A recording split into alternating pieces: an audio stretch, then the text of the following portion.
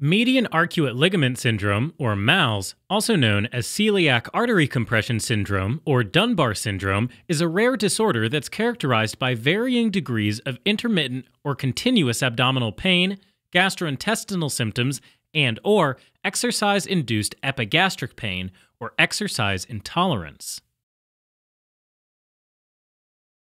MALS is thought to be caused when the ligament attached to the diaphragm descends lower, or the celiac artery is positioned higher on the aorta, resulting in the celiac artery being compressed beneath the fibers of the median arcuate ligament as it passes into the abdomen.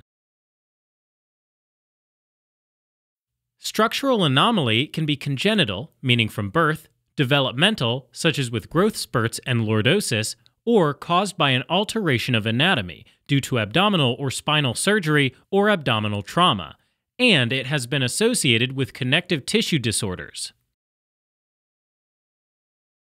The compression is thought to result in four scenarios. The first scenario is directly related to the compression of the artery, causing a narrowing of the vessel, resulting in insufficient oxygenated blood flow and nutrients for metabolic demand to the upper abdominal organs, the foregut, causing symptoms.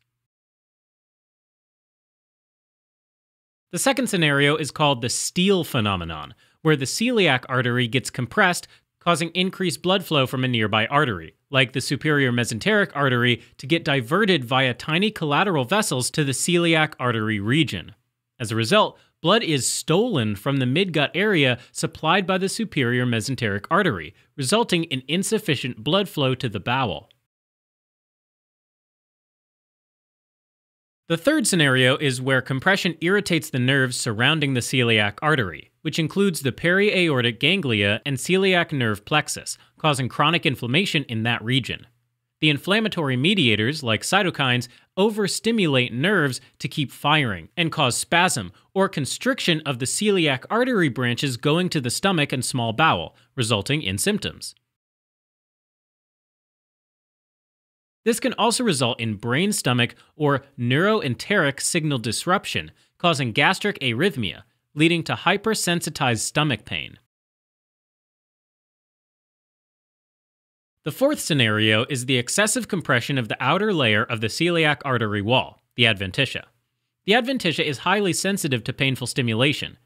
It's possible that the high degree of compression causes pain, which explains the worsening of pain with exercise in these patients.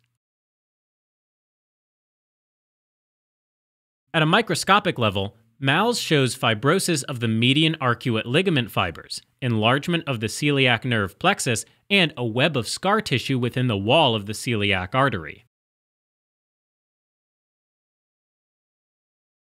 Those diagnosed with MALS and who develop symptoms complain of mild to severe epigastric pain or tenderness, postprandial pain after a meal, and or exercise-induced pain or exercise intolerance.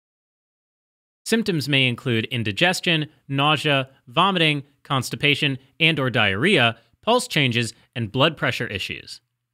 In addition, a bruit or whooshing sound may be heard with a stethoscope over the epigastric area, which is caused by the turbulent flow of blood through a narrowed blood vessel. A diagnosis of MALS is made after listening to the patient's clinical symptoms as well as the exclusion of other conditions like chronic gastritis, cholecystitis, inflammatory bowel disease, and cardiac disease. A mesenteric duplex ultrasound of the abdomen will show increased velocity of blood flow in the celiac artery, typically more than 200 centimeters per second, and end diastolic velocity of more than 55 centimeters per second. An increase in velocity on deep expiration indicates celiac artery compression.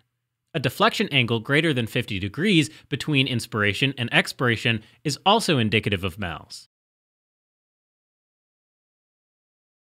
Additionally, a CT scan, CTA, or MRA should be done with breathing protocols to look for the characteristic hooking of the celiac artery below the median arcuate ligament. In some patients, a traditional angiogram may be required. An interventional diagnostic nerve block may be suggested as well. Treatment of MALS typically involves surgery to release the fibers of the median arcuate ligament compressing the celiac artery, the overlying lymphatics, and soft tissue. In addition, the compressed celiac nerve plexus and scar tissue may be removed to relieve pain and other symptoms. Another option is to reconstruct the celiac artery to reestablish blood supply to the organs. In some cases, additional surgery, angioplasty, or stenting may be needed after the initial surgery. When surgery is not an option, comprehensive symptom management is needed, which may include pain management.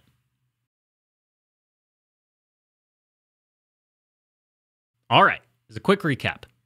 Median arcuate ligament syndrome, or MALS, also known as celiac artery compression syndrome and Dunbar syndrome, is thought to be caused by the compression of the celiac artery and its surrounding structures by the median arcuate ligament of the diaphragm. The end result is the reduced blood supply to the abdominal organs and or nerve irritation resulting in upper and lower abdominal pain, unpleasant gastrointestinal symptoms, exercise intolerance, and potentially pulse and blood pressure changes. A bruit heard with a stethoscope over the upper abdomen is indicative of a narrowed vessel.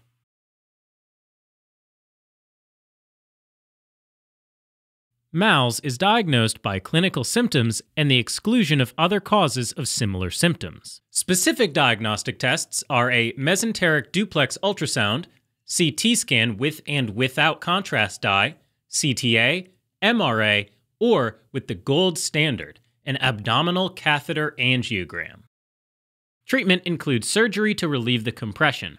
Short and long term follow up care is recommended for continuity of care.